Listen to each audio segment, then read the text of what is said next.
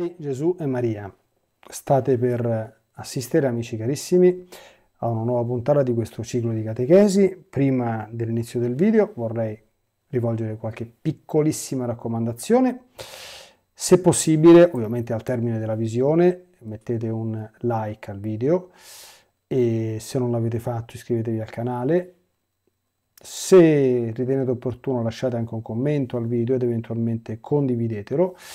Queste piccole operazioni a voi non costano nulla ma possono essere molto importanti per la diffusione ad altre anime di questo materiale. Fatelo, ovviamente se ritenete utile e giovevole al bene delle anime quanto, avete, quanto state per ascoltare. Dio vi benedica e la Santa Vergine vi protegga.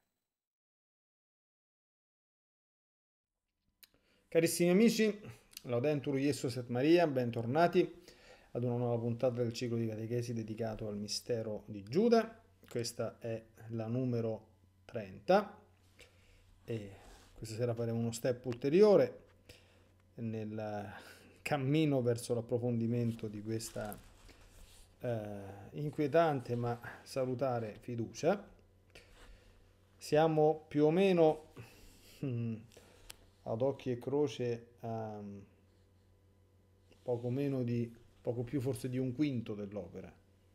Quindi mi sa che questo ciclo di catechesi sarà un record, forse arriveremo a 100, oltre 100 puntate, però questo è, che ci fa comprendere anche eh, dato che non dobbiamo mai dimenticare che stiamo facendo questo ciclo di catechesi perché uno dei motivi eh, formulati da Gesù, ovviamente per chi crede a questa cosa, eh, che lo ha mosso a dare l'opera sul Vangelo, la grande opera sul Vangelo, la mistica italiana Maria Valtorta, è stato proprio quello di conoscere e approfondire il mistero di quest'uomo che è Giuda, perché Giuda purtroppo non è morto con la morte di Giuda Iscariota, ma continua a vivere in varie eh, tipologie, diciamo così, eh, di personalità e quindi anche in varie me- membra attualmente facenti parte del, del corpo mistico di Cristo. Quindi è uno specchio in cui tutti senza paura dobbiamo avere il coraggio di guardarci, se dovessimo vedere, ahimè, dei tratti di somiglianza, intervenire, perché non, non ci sono nella nostra santa fede cattolica situazioni ineluttabili o destini immutabili. Tutto dipende sempre dalla nostra libertà, che purtroppo, e questo è un punto su cui dovremo sempre eh, soffermare l'attenzione, eh, eh, e anche un po' di sana preoccupazione, quest'uomo la libertà ha scelto di o esercitarla male o non esercitarla proprio in certi casi fino alla fine divenendo la causa della sua rovina. Fatto questo breve preambolo, veniamo all'episodio di oggi che si intitola Il suo rigore teologico e un futuro tradimento. Eccoci di nuovo nella cucina di Pietro. La cena deve essere stata abbondante perché i piatti con i resti di pesce di carne, di formaggi, di frutta secche o perlomeno avvizzite di focacce di miele si ammucchiano su una specie di credenza che ricorda un poco le nostre madie toscane e anfore con calici sono ancora sparsi sulla tavola. La moglie di Pietro deve aver fatto miracoli per far contento il marito e deve aver lavorato tutta la giornata. Ora, stanca ma contenta, sta nel suo angolino e ascolta ciò che dice il suo uomo e ciò che dicono gli altri. Lo guarda il suo Simone, che per lei deve essere un grande uomo, anche se un poco esigente. E quando lo sente parlare con parole nuove su quella bocca che prima parlava solo di barche, di reti, di pesci e di denaro, ha persino uno sbattimento di palpebre come fosse abbagliata da troppa luce. Pietro, sia per la gioia di avere alla sua tavola Gesù, sia per la gioia dell'abbondante pasto consumato, è proprio in vena questa sera. E si rivela in lui il futuro Pietro che predica alle folle. Non so quale osservazione di un compagno abbia originato la risposta scultorea di Pietro che dice avverrà loro come fondatori della torre di Babele. La loro stessa superbia provocherà il crollo delle loro teorie e rimarranno schiacciati. Al fratello obietta Andrea, ma Dio è misericordia, impedirà il crollo per dare loro tempo di ravvedersi. Non te lo pensare, ribatte Pietro. A coronamento della loro superbia metteranno calunnia e persecuzione. Oh, io già me lo sento, persecuzioni su noi per disperderci come testimoni odiosi. E posto che attaccheranno con insidia la verità, Dio farà le vendette ed essi periranno. Avremo noi forza di resistenza? chiede Tommaso.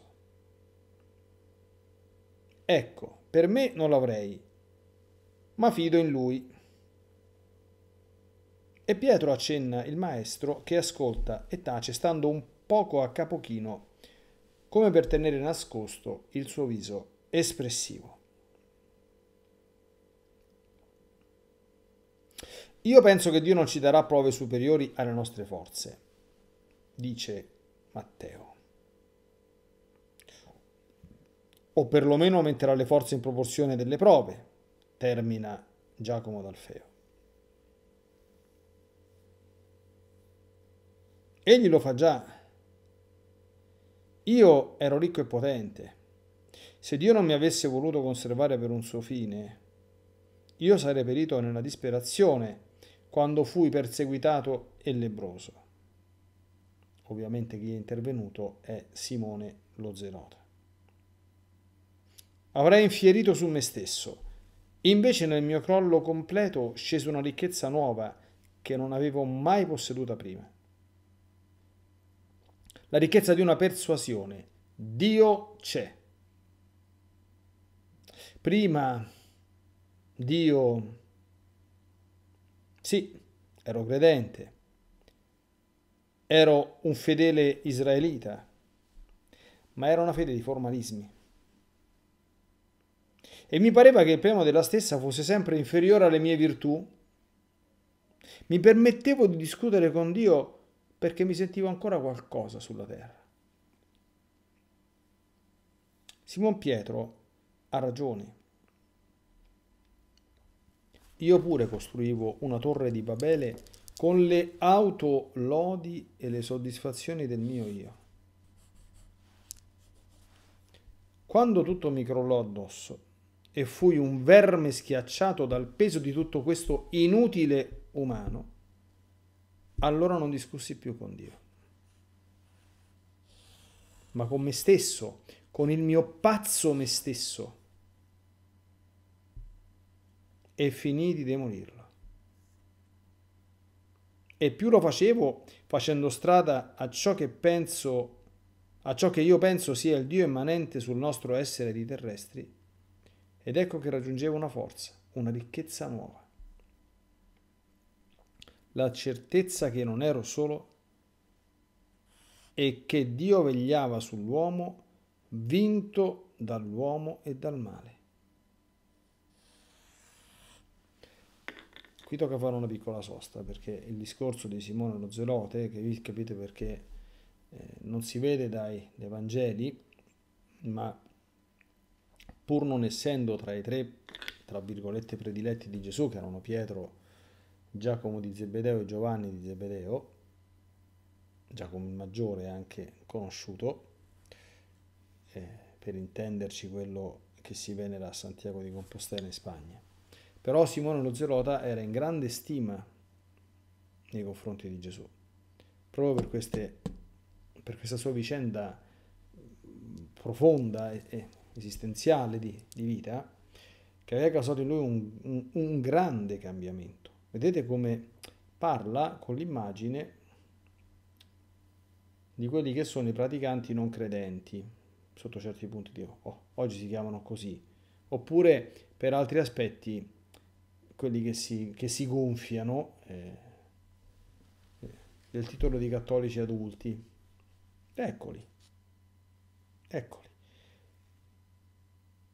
Ero credente, dava messa la domenica, sì, ma una fede piena di formalisti. Mi pareva che il premio della stessa fosse sempre inferiore alle mie virtù. Eh certo, io sentendo queste cose, io ho detto tante volte, faccio, ho fatto sempre solo il parroco, quindi parlare con le persone, sentire appunto eh, i parrocchiani, io ho, io ho un ministero un po' particolare perché ho da un lato sempre avuto le parrocchie come dire, residenziali, territoriali, per, per farci capire i posti dove ti mandano e questo passa al convento, quindi gli piace o non gli piace parrocchiani, più la seconda che la prima, questo passa al convento. E poi però ho anche, come chi sta vedendo questo video in diretta o in differita può capire, un altro, diciamo così, questo eh, io non pensavo che accadesse, ma è accaduto nella mia esistenza, quindi un altro, come dire, un'altra parrocchia, chiamiamola così, una parrocchia spirituale, evidentemente composta qui praticamente, come dire, di persone a cui non sono inviato e devi prendere o lasciare per questo passa al convento, no, ma che mi hanno cercato, mi hanno, oppure mi hanno trovato e poi mi hanno scelto quindi è un contesto completamente differente. Tra quelli della prima categoria tu incontri, appunto quelli che ti fanno fare diciamo, l'esperienza, come dire, variegata, no? perché il resto sono quelli che mi conoscono attraverso questa, questa diciamo così, modalità, sono fondamentalmente, diciamo, tra virgolette, in linea di massima, salvo la presenza di qualche eventuale infiltrato, amici, però potrebbero trovarsi magari in qualcuna di queste situazioni, no? Specialmente se sono un pochino acerbi ancora nella, nella fede. Allora la gente, tu ci parli, sono tutti quanti virtuosi, fanno tanto del bene, non fanno male a nessuno, eppure anzi ne hanno sempre, sono sempre scontenti perché non gli viene riconosciuto, perché Dio non è buono con loro, a destra e a sinistra. Questo è proprio, cioè, di un parroco residenziale. Questa è ordinaria amministrazione, questo è, è, è ovvio e questo è quello che sente dire dai praticanti cosiddetti, non dai non praticanti, perché non, perché i non praticanti, eh, cioè, i non praticanti col, col, col parroco ci parlano proprio, no? Ecco. Non solo, non solo, si permettono di discutere con Dio. Eh, certo. Eh, ce l'hanno col Padre Eterno. Ci stanno tante cose che non vanno bene. Eh, il Padre Eterno purtroppo, secondo questi, non, è, non, non, non ne fa quasi una dritta. Eh. Ancora, Torre di Babele, sentite che grande che è. Mi costruivo una torre di Babele con le autolodi. Oh, questo, questo è uno sport eh, di, di queste categorie, come dire, di i, i praticanti non credenti e i cattolici adulti, oh, se, se, le autolodi se, se le sparano a go-go, quante ne vogliono? E le soddisfazioni del mio io, ah, carità, anche se fanno qualche cosa, come dire, di oggettivamente utile per, per il Signore, per la Chiesa, per la parrocchia, ah, ehi buonanotte, insomma, no? e lui racconta come nostro Signore lo ha amato, smontandolo pezzo per pezzo. E questo nostro Signore lo fa sempre attraverso la prostrazione, l'umiliazione, la demolizione. Abbiamo mai fatto una bella preghiera? Signore, demolisci il mio io. Che bella preghiera che sarebbe. Fa che io possa non soltanto sciacquarmi la bocca, no? eh, tante volte pure lo, dico citando Santa Caterina da Siena, perché è la verità. io sono il nulla più il peccato. Questa è la verità, d'accordo? Lo sono io e lo sei tu. Beh, prima te lo metti in testa e meglio è. Se uno già riconosce questa come verità, già è qualcosa. Però questa bisogna proprio farla scendere dentro, metabolizzarla, no? quando uno mangia, digerisce quindi, e diventa te stesso. La demolizione dell'io. Oh, quando diventiamo così, eh, allora diventiamo strumenti atti a fare qualcosa di veramente buono, forse con l'aiuto della grazia, per la gloria di Dio e per la salvezza delle anime. Perdonatemi questa digressione, ma mi sembrava importante perché ecco, è... lo è. Interviene Giuda Iscariota dopo questo bellissimo discorso di Simone. Secondo te che pensi, che pensi che sia Dio, questo che tu hai detto, il Dio immanente sul nostro essere di terrestri? Che vuoi dire?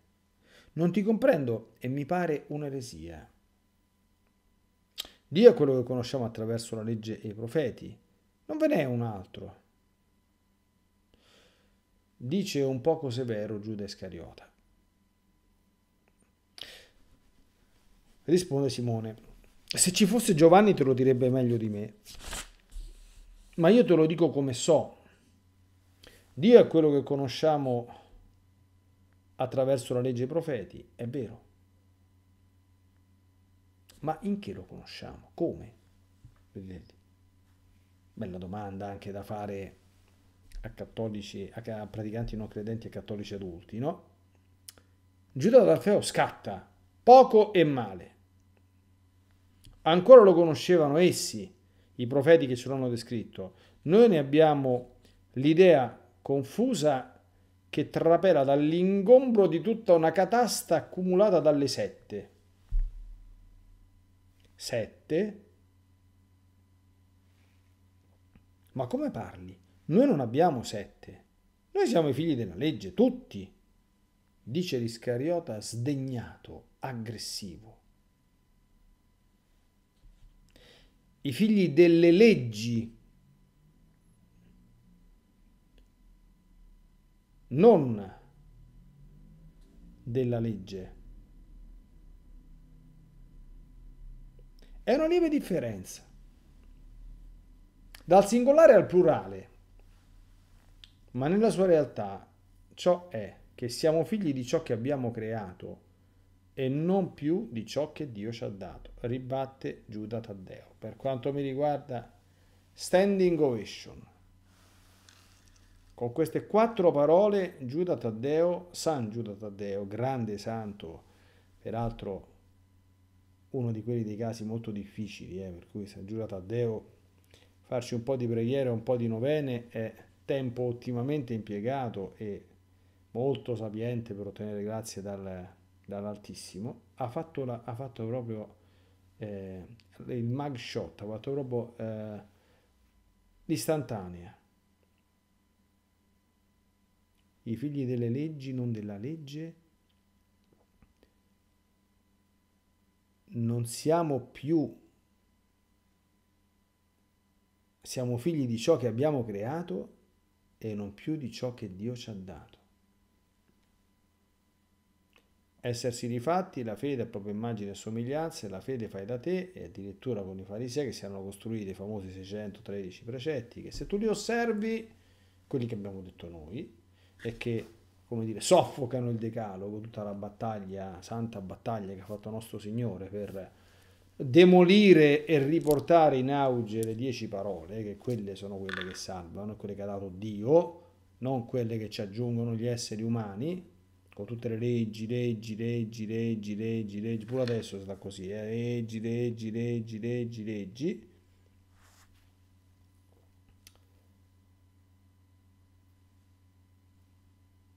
Iscariota adesso ormai è entrato in polemica perché adesso lui è il paladino della giustizia.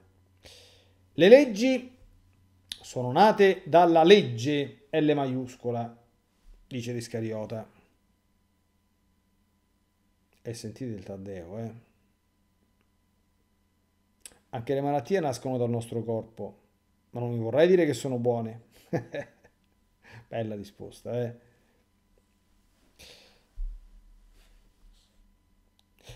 Ma lasciatemi sapere cos'è il Dio immanente di Simone Zelote.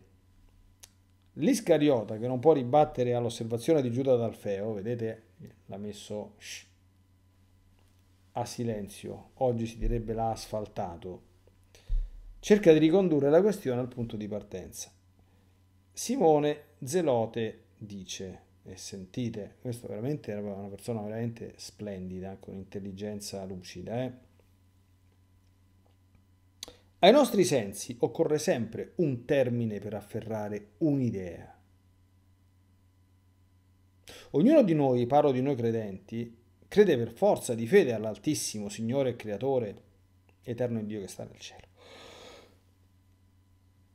Ma anche ogni essere ha bisogno di più di questa nuda fede, vergine, incorporea, atta e sufficiente agli angeli che vedono e amano Dio spiritualmente, condividendo con lui la natura spirituale e avendo capacità di vedere Dio. Noi abbiamo bisogno di crearci una figura, tra virgolette, di Dio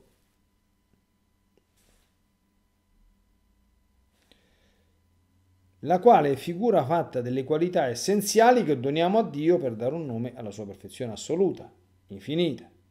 Più l'anima si concentra e più riesce a raggiungere l'esattezza della cognizione di Dio. Ecco ciò che io dico, il Dio immanente. Io non sono un filosofo. Forse avrò applicato male la parola, ma insomma, per me il Dio immanente è il sentire, il percepire Dio sul nostro spirito. E sentirlo e percepirlo non più come idea astratta, ma come reale presenza datrice di una fortezza e di una pace nuova. Quindi è quello che lui ha vissuto. Attenzione, eh, cioè, eh, anche se il termine l'immanentismo, cioè il concepire Dio filosoficamente, non come trascendente, come Dio è, ma come immanente, cioè Dio che si confonde con il creato, è un'eresia. Questo lo è, ma vedete che lui dice forse non ho usato bene il termine, lui non intende questo. Lui intende il passaggio da una idea astratta di Dio alla percezione reale, non nel sentimentalismo esperienziale di oggi, eh, della sua presenza che avviene quando c'è una trasformazione profonda nell'esistenza che passa ordinariamente attraverso la croce, l'essere messi con la bocca nella polvere. Ciò che fa passare la fede da un'idea astratta ad una realtà vissuta veramente alla luce della conoscenza di noi stessi e del nulla che siamo e in questa situazione io sono nulla più peccato non è più una semplice verità che l'intelletto dice vabbè filosoficamente è chiaro che questo è vero. Perché? Perché io non mi sono fatto da solo quindi sono stato creato quindi vengo dal nulla. E perché chi è così cretino di non vedere tutti quanti i peccati che facciamo dalla mattina alla sera anche piccoli speriamo quando uno vive in grazia ma innumerevoli imperfezioni negligenze e mancanze se uno se le dovesse scrivere tutte potrebbe fare la confessione generale con le imperfezioni. Tranquillo tranquillo. Io devo, devo aver messo in giro, credo su, anche, anche, sul mio sito, uno schema per l'esame di coscienza sulle imperfezioni che, usa, che usavano, che lo facciano più nei conventi e nei monasteri. Se uno si mette davanti a quello può tranquillamente dire tutto, ma sono due pagine di roba. Ho fatto la genuflessione in maniera distratta, non ho chinato la testa durante il gloria al Padre, ho detto la parola inutile, sono stato un pochino sgarbato, eh, mi sono interiormente risentito per una parola, mi sono scocciato per una situazione, di queste, cioè, amici cari, cioè, io vi auguro di non farne manco una, però vuol dire che una persona sta a tassi di santità elevatissimi. Ok? Quindi razionalmente io sono nulla più il peccato, me lo vedo davanti tu, tu, tu, tutti i giorni ma quando questo proprio è carne della nostra carne, ossa delle nostre ossa, e è una sorta di status perpetuo con cui io mi sento davanti a Dio, questo attira un autotreno di, di grazie, veramente si, si, ripeto, si diventa capaci di operare grandi cose per e in nome dell'Onnipotente. Va bene, ma insomma, come lo sentivi? Quale differenza c'è fra il sentire per fede e sentire per immanenza? Chiede un poco ironico l'Iscariota. Dio è sicurezza, ragazzo, interviene Pietro. Quando tu lo senti, come dice Simone, con quella parola che io non capisco la lettera, ma della quale capisco lo spirito, e credi che il nostro male è di capire solo la lettera e non lo spirito delle parole di Dio, vuol dire che riesci ad afferrare non solo il concetto della maestà terribile, ma della paternità dolcissima di Dio. Vuol dire che senti, quando tutto il mondo ti giudicasse e condannasse con ingiustizia, uno solo, Lui l'Eterno che ti è Padre, che non ti giudica, ma ti assolve e ti consola. Vuol dire che senti che quando tutto il mondo ti odiasse, tu sentiresti su te un amore più grande di tutto il mondo. Vuol dire che segregato in un carcere o in un deserto, tu sentiresti sempre uno, che uno ti parla e ti dice sii santo per essere come il Padre tuo. Vuol dire che per l'amore vero a questo Padre Dio, che finalmente si arriva a sentire tale, si accetta, si opera, si prende o si lascia senza misure umane, pensando solo a rendere amore per amore, a copiare il più possibile Dio nelle proprie azioni. Vedete? Qui già parla il Papa, perché queste parole sono da Papa. E voglia Dio che tutti i papi parlassero sempre così. E sentire dinanzi a un tale discorso così bello, Giuda che, vedete, ecco qui esce fuori quello che è, abbastanza, in maniera abbastanza eh, evidente, ribatte. Sei superbo, copiare Dio ah, non ti è concesso, giudica l'Iscariota. Non è superbia. L'amore porta all'ubbidienza. Copiare Dio mi sembra ancora una forma di ubbidienza perché Dio dice di averci fatto a sua immagine e somiglianza, replica Pietro. Ci ha fatto. Noi non dobbiamo andare più su. Ma sei un disgraziato se pensi così, caro ragazzo.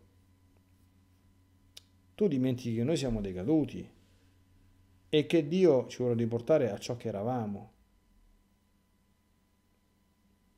Gesù prende la parola e dice, più ancora Pietro, Giuda e voi tutti, più ancora.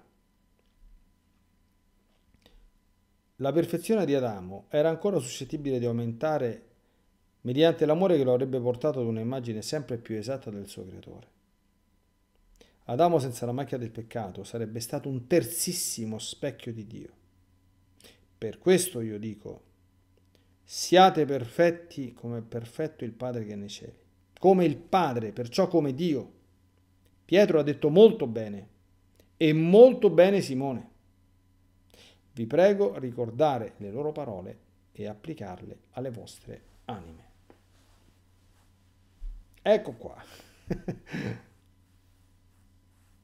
La moglie di Pietro per poco sviene nella gioia di sentire lodare così suo marito. Piange dentro il suo velo quieta e beata.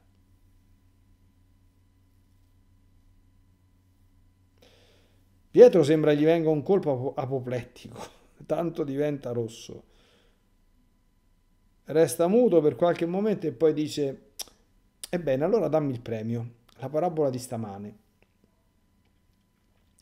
Anche gli altri si uniscono a Pietro dicendo, sì sì, lo hai promesso, le parabole servono bene a far comprendere il paragone ma noi comprendiamo che esse hanno uno spirito superiore al paragone. Perché parli in parabola, in parabole?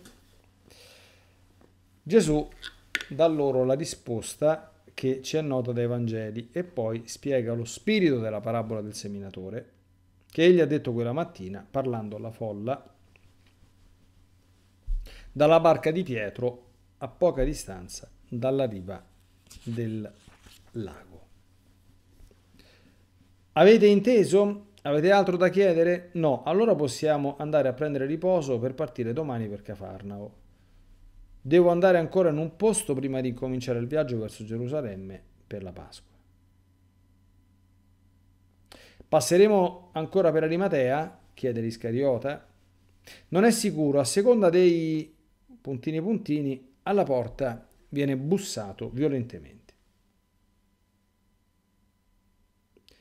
Ma chi può essere a quest'ora? Dice Pietro alzandosi per aprire. Per aprire. Si presenta Giovanni, stravolto, impolverato, con chiari segni di pianto sul viso. Gesù che si è alzato dice solo, La madre dov'è? Tu qui, gridano tutti, ma che è accaduto? E Giovanni, venendo avanti andando a inginocchiarsi ai piedi del suo maestro, tendendo le braccia come per avere soccorso, dice, La madre sta bene, ma è in pianto come me, come tanti, e ti prega di non venire seguendo il Giordano dalla parte nostra. Mi ha mandato indietro per questo, perché, perché Giovanni, tuo cugino, è stato preso in prigione. E Giovanni piange, piange mentre molto subbuglio si solleva tra i presenti. Gesù impallidisce profondamente ma non si agita. So, solamente dice alzati e racconta. Andavo giù con la madre e le donne, anche Isacco e, Timo, e Timoneo erano con noi, tre donne e tre uomini. Ho obbedito al tuo ordine di condurre Maria da Giovanni. Ah, tu sapevi che era l'ultimo addio che doveva essere l'ultimo addio. Il temporale di giorni or sono ci ha fatto sostare di poche ore, ma sono bastate perché Giovanni non potesse più vedere Maria. Noi siamo arrivati all'ora di sesto e lui era stato catturato al Gallicinio. Ma dove? Ma come? Da chi? Nel suo antro? Tutti chiedono, tutti vogliono sapere. È stato tradito. Si è usato il tuo nome per tradirlo. Questo è un particolare che noi non conosciamo dai, dai Vangeli. Udite, udite, eh? Che orrore! Ma chi è stato? urlano tutti. E Giovanni, rabbrividendolo, rabbrividendo, dicendolo piano questo orrore che neppure l'aria dovrebbe udire, confessa, da un suo discepolo.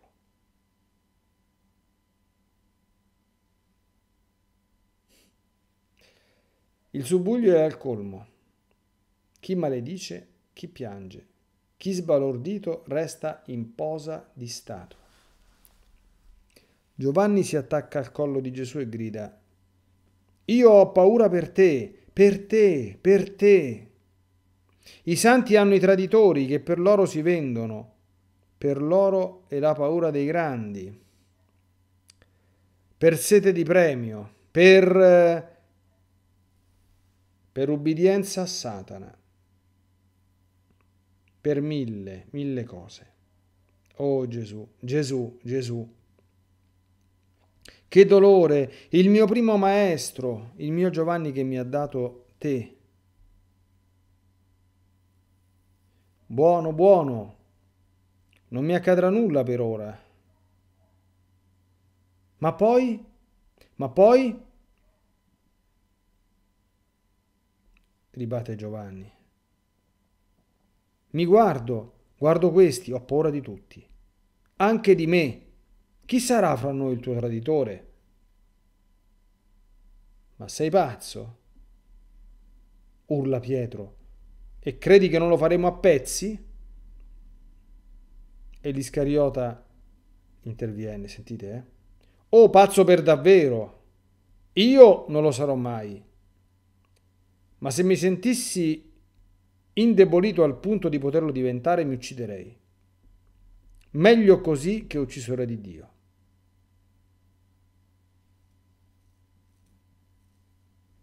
Gesù si libera dalla stretta di Giovanni, sentite quello che ha detto, eh? e scuote rudemente l'Iscariota dicendo non bestemmiare, nulla ti potrà indebolire se non vuoi. Questo se non vuoi è scritto in corsivo nel testo. E se ciò fosse, fa di piangere e non avere un delitto oltre al deicidio. Debole diviene chi da sé si svena di Dio. Ecco, questa espressione potrebbe dare il titolo a questa catechesi, così poi chi se la andrà a vedere in differita perché qui è proprio un punto chiave. Debole diviene chi da sé si svena di Dio. E come facciamo a svenarsi di Dio? Ah, facilissimo. La, il grande dissanguamento è col peccato mortale. Poi, che ne so, eh, le feritine, non avete visto le, le, le punzecchiature sui, sui capillari, quella le diamo con i peccati veniali, con la trascuratezza nella preghiera, nei sacramenti, eccetera. E svenati di Dio a Dio, veramente. Domanda, me la faccio a me, la faccio a voi, a chi sta sentendo. Ma Giuda ci lo, lo, era convinto di quello che stesse dicendo? in questa circostanza o stava facendo finta?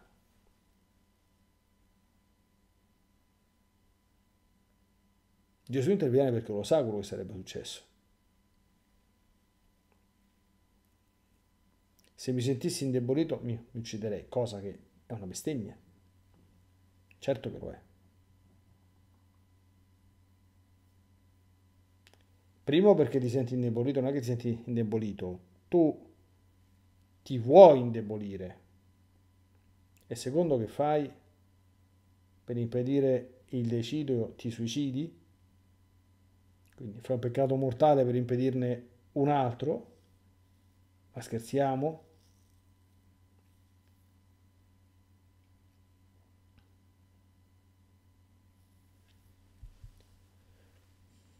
La verità è che qui Giuda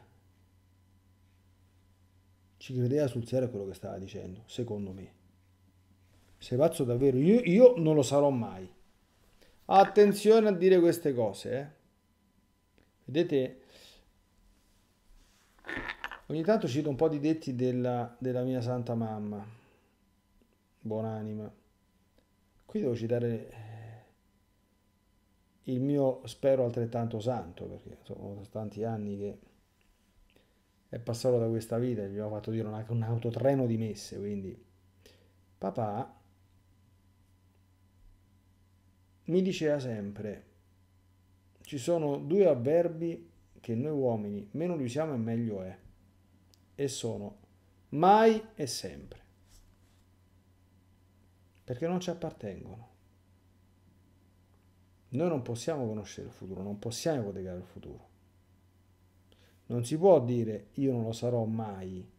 Se proprio vuoi dire qualcosa, tu devi dire così. Per come percepisco e per come sono adesso, io non ti tradirei.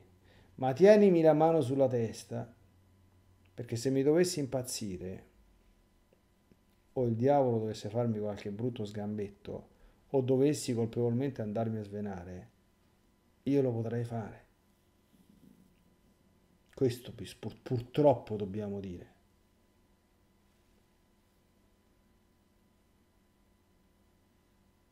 E guai se non lo diciamo. Abbiamo appena festeggiato la festa di San Francesco, tante volte l'ho raccontata questa storia. San Francesco andava sempre dicendo in giro che lui era il più grande peccatore della terra. E un giorno fratello diceva, scusa un attimo, dico, padre, ma cioè, le bugie non si possono dire neanche a fin di bene, e neanche per umiltà, perché l'umiltà è verità. Scusa, ma lasciamo perdere quello che tu dici o pensi di aver fatto durante la, la, l'adolescenza, perché poi San Francesco di fatto si è convertito giovanissimo. Ma io ti guardo tutti i giorni, ma che peccati fai tu? Mica c'è le donne, mica sei adultero, mica, mica, mica rubi, mica ammazzi la gente, mica, non vai a messa la domenica, mica non preghi. Cioè, che peccati fai? Come fai a dire con verità questa cosa? Lui rispose, certo, fratello. Però io per grazia di Dio sono quello che sono. Perché se non ci fosse stata la grazia di Dio, io farei tutto quello che tu dici e anche peggio. E non lo diceva tanto per dire. E ti dico anche un'altra cosa, che se qualcun altro avesse avuto la stessa grazia che ci ho avuto io, farebbe molto meglio di me. Queste cose si possono sempre dire, senza mancare alla verità. Si possono dire perché ne siamo convinti, non come sceneggiate. Se no facciamo un'altra, facciamo un'altra sceneggiata, facciamo, eh? E a Dio non piacciono le sceneggiate.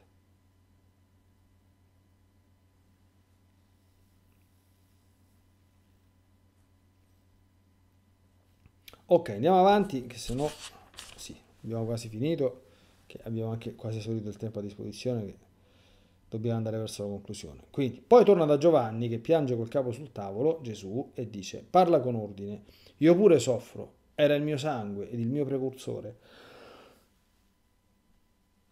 Non ho visto che i discepoli, parte di essi, costernati e furenti contro il traditore. Gli altri hanno accompagnato Giovanni verso la sua prigione per essergli vicino nella morte. Ma non è ancora morto. L'altra volta poté fuggire, cerca di confortare lo zelote che vuole molto bene a Giovanni, secondo il principio del similes cum similibus. Non è ancora morto, ma morirà, risponde Giovanni. Sì, morirà, interviene Gesù. Egli lo sa come io lo so. Nulla e nessuno lo salverà questa volta. Quando? Non so, so che vivo non uscirà dalle mani di Erode. Sì, di Erode. Senti, egli è andato verso quella gola da cui noi pure passammo al ritorno in Galilea fra l'Ebar e il Garizim, perché gli fu detto dal traditore, il Messia è morente per un assalto di nemici ti vuole vedere per affidarti un segreto. E lui è andato con il traditore e con qualche altro. Nell'ombra del vallone erano gli armati di Erode e lo hanno preso. Gli altri sono fuggiti portando la notizia ai discepoli rimasti presso Ennon. Erano appena venuti quando giunsi con la madre e quello che è orribile è che era uno delle nostre città e che sono stati i farisei di Cafarnao alla testa del complotto per prenderlo. Erano stati da lui dicendo che tu eri stato loro ospite e che da lì partivi per la Giudea. Non sarebbe uscito dal suo rifugio altro che per te. Avete sentito che carogne?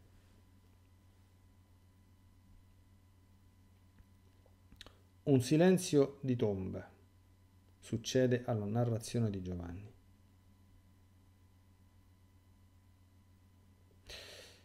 Gesù sembra svenato, con gli occhi di un azzurro cupissimo e come appannati. Stacca pochino, la mano ancora sulla spalla di Giovanni e la mano è scossa da un lieve tremito.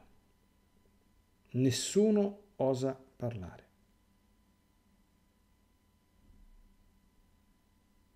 Gesù rompe il silenzio. Andremo in Giudea da altra via, ma domani devo andare a Cafarnao.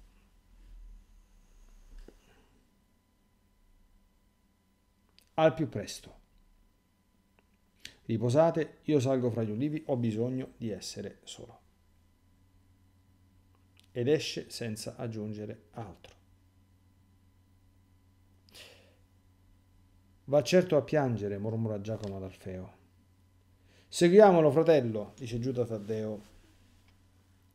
No, lasciatelo piangere. Solo usciamo piano in ascolto. Temo insidia dappertutto, risponde lo zelote. Sì, andiamo, noi pescatori sulla riva. Se qualcuno viene dal lago lo vedremo. Voi per gli ulivi. È certo il suo solito posto, presso il noce. All'alba prepareremo le barche per andare presto. Quei serpenti, eh, l'ho detto io. Di ragazzo, la madre è proprio al sicuro? Oh sì, anche i pastori e discepoli di Giovanni sono andati con lei. Andrea, non lo vedremo più il nostro Giovanni. Taci, taci, mi sembra il canto del cuculo. Uno precede l'altro e... e... Per l'arca santa tacete. Se parlate ancora di sventura al maestro, comincio da voi a farvi assaggiare il sapore del mio remo sulle reni. Urla Pietro inferocito. Voi, dice poi a quelli che restano per gli ulivi, prendete dei bastoni, dei grossi rami, là nella legnaia, ce ne sono, e spargetevi armati. Il primo che si accosta a Gesù per nuocergli sia morto. Discepoli, discepoli, bisogna essere cauti con i nuovi, esclama Filippo. Il nuovo discepolo si sente ferito e chiede, dubiti di me? Egli mi ha scelto e voluto. Non di te, ma di quelli che sono scribi e farisei e dei loro adoratori. Da lì verrà la rovina, credetelo. Escono si spargono chi fra le barche, chi fra gli ulivi delle colline e tutto a termine. E a termine anche per noi, amici cari, non c'è molto da aggiungere qui se non ecco, vedere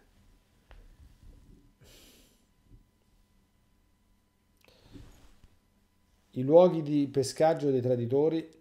È sempre così. Io conosco purtroppo in questi 20 anni, ho visto delle storie allucinanti, orribili. Il luogo dove il Satana lo fa, lo, lo fa apposta secondo me. Primo perché il traditore è la persona che, di cui maggiormente si fida il tradito. E secondo perché dopo una volta che accade non c'è dolore più grande da dare al tradito stesso, perché il diavolo purtroppo è crudele. Dove è andato a prendersi il traditore di Gesù?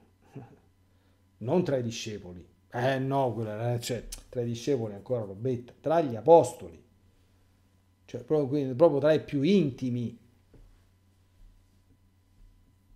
Purtroppo è sempre così, figlioli miei. Le storie che ho visto, che chiaramente non, non, non racconto, che ho visto, che ho sentito, sono proprio la fotografia e la conferma di queste cose. Non c'è difesa da questo, eh? Non c'è difesa.